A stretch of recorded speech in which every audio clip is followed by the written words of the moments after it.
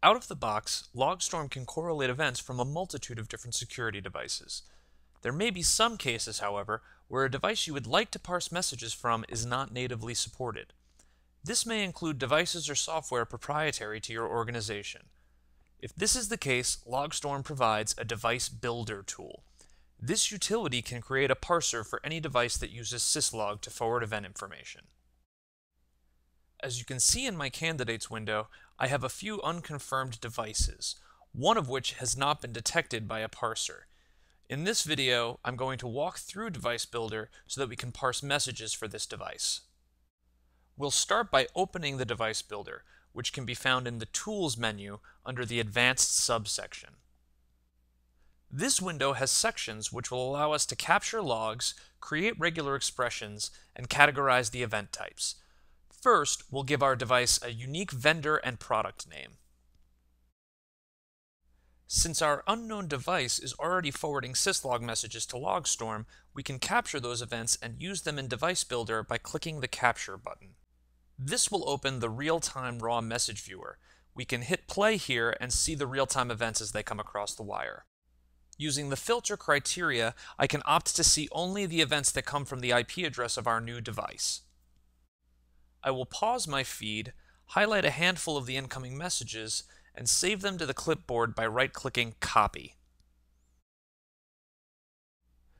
Now that I have these events, I can close the real-time monitor in the Device Builder window, I can click on the Paste button and display those events here. If I accidentally copied over any unwanted messages, I can go ahead and highlight them in this window and click the Delete button. Now I have three messages that I want to create parse rules for. If I highlight a message, it will appear on the bottom half of the screen in the regex1 tab. I'll select the first message and create a regular expression to match it. Note that I am grouping unique variables in parentheses, such as the alarm identifier and the interface label. I will use these groupings to parse the information out for correlation later on. A few things will happen once I'm done writing my regex. First, the groupings I created are now in bold on the regex1 tab. Additionally, the regex column for this raw message has a 1 in it, indicating that it's a match for regex1. Finally, my regex has a check mark next to it, meaning it is a valid regex statement. Since everything looks in order, I can go ahead and map logstorm fields to the variables in the raw message. The first field listed is event message signature. For this message, that's group 1, the firewall underscore if down alarm. Once I select group 1, you'll notice that the variable will appear right next to the field. That way you can double check your work. Since the other fields aren't in this particular message, I can remove them all and then add one for the interface variable. When I click the plus button, all available mapping fields for Logstorm are listed. I simply need to select the appropriate field. Again, I'll select the grouping number for the variable we want in this Logstorm field. In our case, it'll be 2 for ETH2. I'll repeat this process once more for my third variable, which here is username. Once the attributes have been set, I need to categorize this event type for use in correlation. By double-clicking on the message signature and using Control-C, I can copy that message. Then, in the signature categorization window, I will right-click and select Paste. All of the categories Logstorm uses to normalize events are listed here to my right. I just need to highlight my device message signature and then select the appropriate category to describe it.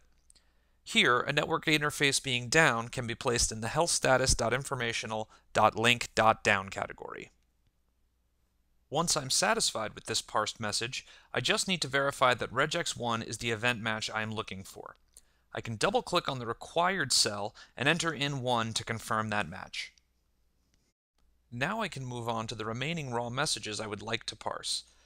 These next two messages are similar enough that one regular expression can match them both.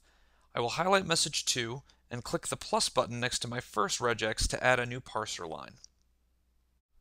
I can now create a filter matching messages 2 and 3, again grouping important variables in parentheses like the IP addresses and port numbers. Once the regex is valid, I can map the message variables to the Logstorm attribute fields as we did before.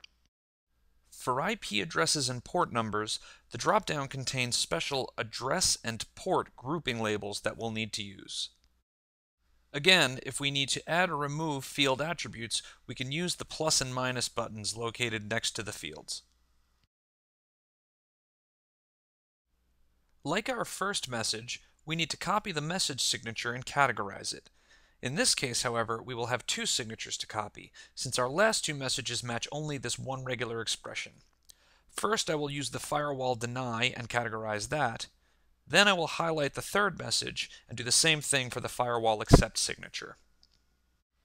I am using the same normalization categories as our built-in firewall parsers.